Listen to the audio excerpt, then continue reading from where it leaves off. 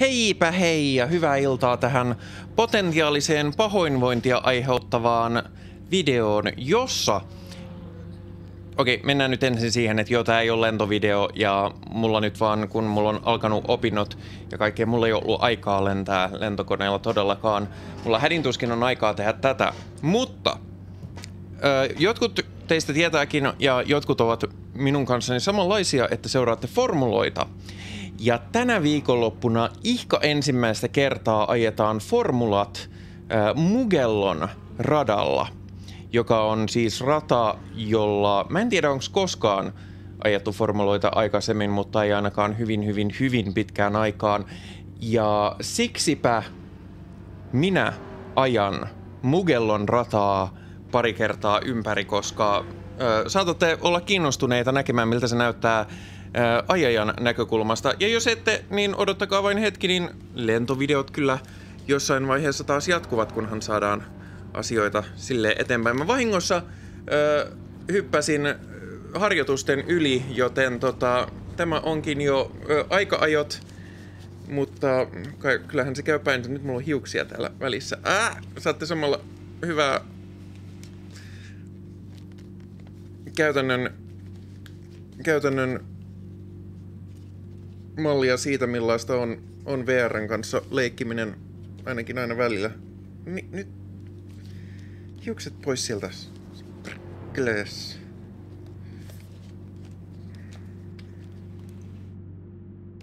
Noni, noni, noni. On siellä vieläkin jotain, mutta... Aha, okei. Okay. Öö, aloitetaanpas tämä öö, sessio alusta, koska on niin paljon. Ja sitten varmistetaan, että mun oma setup on ladattuna. Tää on hyvin setup-herkkä tota, rata. Ja kohta näette miksi.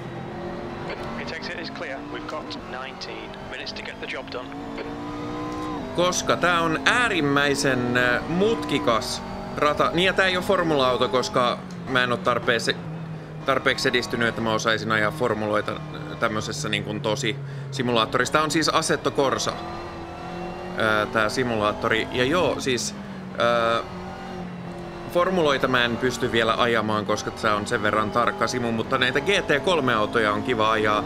Ja kuten näette, niin rata on äärimmäisen kapea verrattuna moniin nykyisiin, joten se tekee ohittamisesta täällä formula-autoilla varmasti hankalaa. Myöskin mitä saatatte huomata, niin, niin tota noin, nämä käännökset on tällaisia aika laajoja ja tällaisia, englanninkielessä käytettäisiin sanaa sweeping, mutta mä en, mä en oikein keksi mikä hyvä suomenkielinen vastine sille olisi. Olipa noloa, mä, mä en ollut ihan varma, että pitäisikö downshiftata ja sitten tää auto sanoikin, että ei täällä kuule mitään downshiftailla. Ja taas. No, annettakoon anteeksi sille, että kun mä harvemmin ajan ja puhun samaan aikaan, nythän mä en edes tee mitään kierrosta. Nyt mä vaan tota... Nyt mä vaan testailen ja näytän teille tota... Joskin jos tää menee hyvin, niin ehkä tää on mun aikaa jo oikeastikin ihan, ihan tässä vaan. Mutta joo, siis paljon tällaisia pitkiä öö, niin kuin kaartoita enemmän kuin sellaisia mutkia, mutkia. Ja nykypäivän formula-autoilla se... Uh-huh. Nykypäivän formula-autoilla se voi olla siitä huonoa, että koska ne on huonoja seuraamaan, etenkin kaarteissa, niin niillä ei oikein mitään sitten selkeitä ohituspaikkoja. Nyt jos lähdetään niin kun kunnolla... Nyt jos mennään ihan kunnolliselle kierrokselle tai lähinnä sitä, mitä mä nyt voin tässä simussa semmoista heittää, niin tämä ensimmäinen kaare, tähän tietysti, jos jarruttaa tosi viime tingassa, niin siitä voi saada jotain. Nämä mutkat taas tullaan mennä ihan jonossa, koska tässä ei ole mitään mahdollisuuksia nykyformuloilla seurata yhtään ketään. Tässäkin periaatteessa, tässä on, tää on suht tiukka käännös, että periaatteessa tossakin saattaisi sellaiset Last of the Late Breakersit päästä eteenpäin. Tää on taas semmonen, että ei mitään jakoa, koska tää on tämmönen... Tää muistuttaa itse asiassa vähän spaata tää kohta rataa. Ja mä, mä siis mä tarvitsen huomattavasti enemmän vauhtia tossa, jos mä meinaan saada minkäänlaista aikaa. Mä siis aloitin vasta jotain tunti sitten opettelemaan tätä rataa ekaa kertaa, että älkää tuomikko liian ankarasti. Ja ajan, ajan ihan täysin realistisesti ja käsivaihteella ja kaikkea niin poispäin. Uh, meinas mennä leveäksi. Ja en siis osaa vieläkään ihan täysin kunnolla tätä. Ja ehkä se tappiakin täytyy vähän säätää. Mä oon, mä oon viime aikoina tehnyt nyt sitä, että ennen, ennen formuloita niin mä oon ajanut, kisannut tässä simussa näillä autoilla siellä radalla, missä on.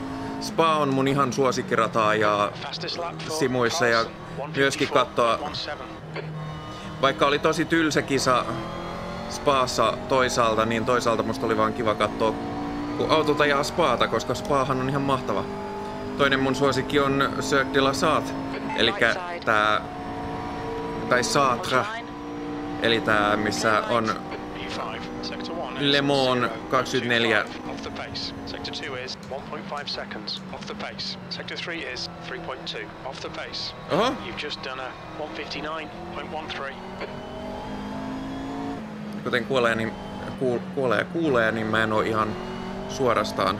Mutta näissä ei ole niinku mitään. Nää tulee menee ihan vaan possujonossa noin. Tää on ehkä niinku ainoa niinku semmonen oikea kunnon kunnon niinku ohitusmutka. Sitten possujonoa, possujonoa. Tässä ei ole mitään, mä luulen, että niillä on ihan vaan tekemistä, että niiltä ei lähde peräpää irti tässä, kun nämä on, nämä kallistuu aika jännästi nämä mutkat. Ja formulat ei ole, Formula 1 ei ole suorastaan suunniteltu niin kuin varsina suuriin kallistuksiin, mutta G-voimat saattaa olla aika hurjat noilla kuskeilla. On your right. No, menkö nyt siitä? Sector 2 is 2.0 off the pace. Ja jos joku ei ole niin paljon ajanut Assetto Corsaa niin, ja ihmettelee, että miten tämä nyt näyttää tämmöiseltä ja mitä nuo kaikki äänet on, niin mulla on tässä asennettuna semmonen kuin Soul Shader Pack.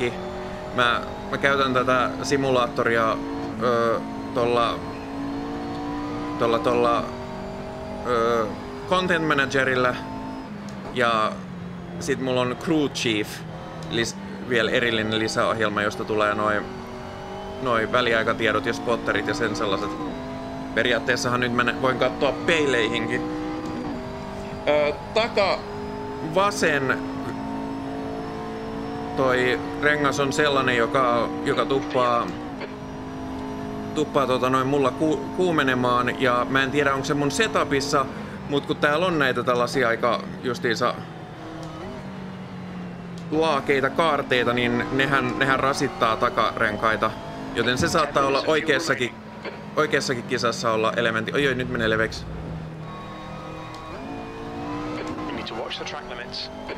Joo, joo, joo, joo. Kyllä mä tiedän. Aina ne renkaat on joko liian kylmiä tai liian kuumia. Sellaista se on.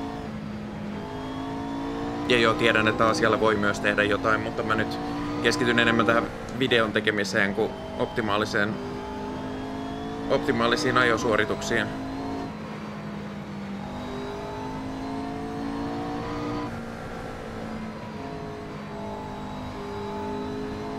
Tää on jännä mutka tää, koska tavallaan tää on niinku aika sokea, mutta toisaalta sitten tosta pystyy ihan täysin päättelemään tosta, kun siinä näkee ton sisäkurvin, niin sit pystyy aika hyvin pää päättelee sen, että missä mennään. Oh, nyt meni pitkäksi, koska mä yritin välttää osumasta tohon edellä olevan peräloosteriin. Katsotaan, jos näillä autoilla tässä saattaa päästä ohi, mutta formuloilla tuskin. Meinas lähtee perä irti, kun mä tein lukkojarrutuksen liian myöhään tohon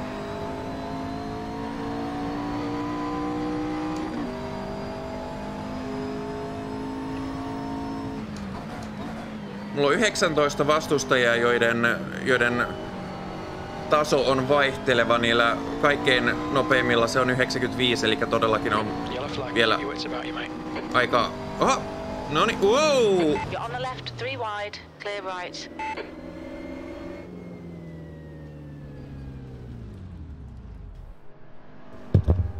Looks like you got some minor bodywork damage. Noin voi tietysti käydä oikeissakin formuloissa ja se on... Se on vähän huono. Tietysti kun se sanoi, että keltainen lippu, että varopa vähän, niin olisi voinut vaikka varoa. Mutta tällainen on Mugellon rata ajajan näkökulmasta.